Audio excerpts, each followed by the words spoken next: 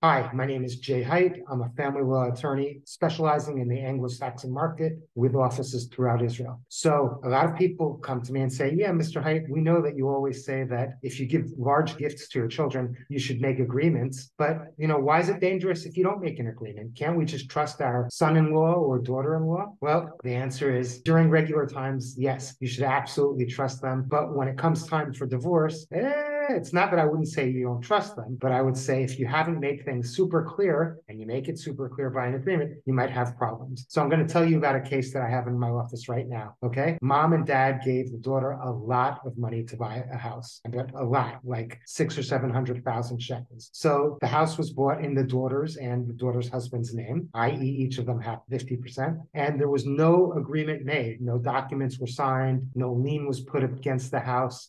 Nothing saying that, hey, this isn't a gift, this is only a loan, etc. Well, two years later, husband gets caught, let's say, with his pants down, who's having another relationship. Wife goes crazy, decides to end the marriage. And here's the thing, okay? Husband is getting half of the equity of the home, i.e., even though wife's parents gave the gift to buy the house, even though husband was the quote unquote the wrong person because he was not keeping his fiduciary duties by having an affair affair with somebody else, even though all those things, husband is getting half of the equity of the house, which means half of the value of the gift that the parents intended to give their daughter. And had they done it properly, either alone in the event of divorce, it will totally go to our daughter, well, then they would have been protected, or rather their daughter would have been protected. But since they didn't, you know, it was tough luck. And the husband got to a good attorney and we were able to get 50% of the asset. So this is why it is incredibly dangerous if you do not have an agreement in place when you make a large gift to your children. Again, my name is Jay Hait. I'm a family law attorney with offices throughout Israel, and you need help with a family law issue, then please call our office.